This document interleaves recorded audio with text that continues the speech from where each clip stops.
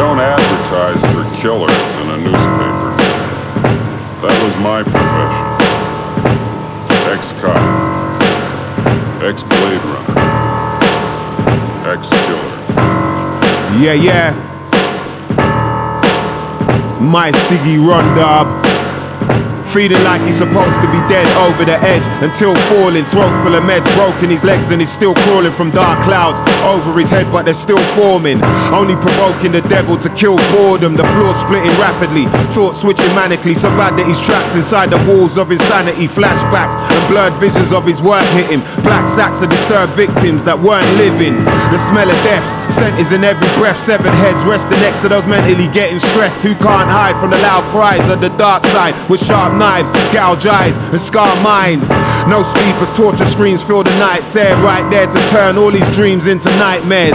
He's unknowingly, heavily sedated, recalling his last thoughts were that he'd never even make it. He couldn't believe his luck. Smiling in celebration, he thought he made it through all this violent interrogation. But nah, the pain taught him that nothing can numb the feeling. Still strapped to a bed, looking up at a bloody ceiling. He's feeling trapped in a madman's diary.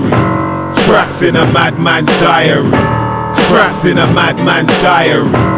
Trapped in a madman's diary. Silent screams blocked out by violent themes. All he has is nightmares, no time for dreams. Now he's trapped in a madman's diary. Trapped in a madman's diary. As if there's no way out of this place. Aching like they blew his whole brain out of his face. And cause his soul ain't found an escape, he preferred to be cold faced down in a lake. A former torturer, now an 80 year old veteran, like Dr. Lecter getting a taste of his own medicine, shaking his whole skeleton, making his bones tremble when noticing his stone cold face in a robe entering. A rusty saw in his clutch, of course, plus some other torture instruments just to assure that blood will pour. Smiling like he was in love with gore and nothing more, but you could barely see him grinning through those muzzled jaws. Wasn't one to talk his way was actions, so he made this action, giving the old man's face a slashing. The screaming vet filled the air with bad breath whilst losing the last two fingernails that he had left. Torn quicker than a worn sticker by the tall figure who had a raw stinker wall stripper.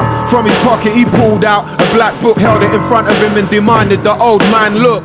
What do you want? Was met with Shut up and listen, you're about to hear the memoirs of one of your victims who I knew as my father. He slowly began reading as the old man's breathing weak and still bleeding. Now he's truly feeling trapped in a madman's diary. Trapped in a madman's diary. Trapped in a madman's diary.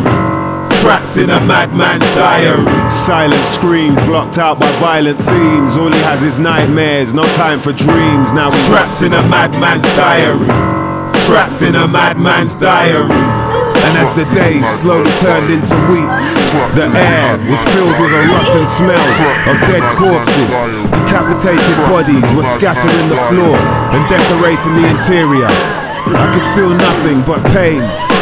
The screams were heard but never answered as barbed wire kept me strapped down to the bed. The door opened and the torturer came in, throwing what seemed like acid across my face.